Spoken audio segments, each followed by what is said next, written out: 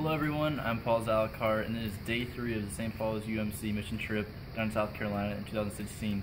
Today is Tuesday, it's to be day three, and it's a little tiring. Uh, we were out in the sun all day, I think it was 92 degrees at one point that I saw, but we got a lot of work done, especially at uh, our mission site. Um, we were on the roof, and uh, although the roof gets hot, we were able to go underneath uh, another lower part of the roof that came up, uh, but doing so we had to lay down. Because it was a very slippery slope, so it was me and Brian Slusser at the time, and um, so our job at the time was to uh, get tar paper down along the top of the, uh, the roof before we could put the uh, on. And so as we were trying to put that in with the, uh, some of the nails, we found out that the flashing on the side, I think that's the word for it, um, there was already previous uh, metal in there before. And if we pulled that out, it would take the siding off, so we couldn't do that. And as we tried putting uh, new flashing on top of that, we couldn't because of the metal beneath it. I think it was steel. So ultimately, we had to end up cutting the steel and take the tar paper off because we ended up slipping down because we weren't aware of stepping on the button tabs, the nails. So we kept ripping the tar paper that we put from the day before. So a lot of problems occurred, but uh, no one really complained much, and we eventually got the job uh, almost done. We got the one side completed. Now we're split into two groups. Basically, we have the George's uh, know-it-alls on one side. They uh, showed up the first day with tool belts on and knew exactly what they were doing. They got the whole front side done, but it's a little bit smaller. We have a bigger project, and we're kind of just figuring out as we go along. But uh, really exciting work. This is probably the I like heights. This is the most intense roof job I've ever done. Um, but I'm looking forward to putting up the actual shingles tomorrow, and then we had to work on the back side. And uh, I think our group has done a really good job. And I'll tell you what, it's exciting to come home after a nice grimy day underneath with all the dirt on you and get seven showers for one hose and it's fantastic. But I'm looking forward to the rest of the week. Hope you guys are enjoying these videos. Thanks again for listening.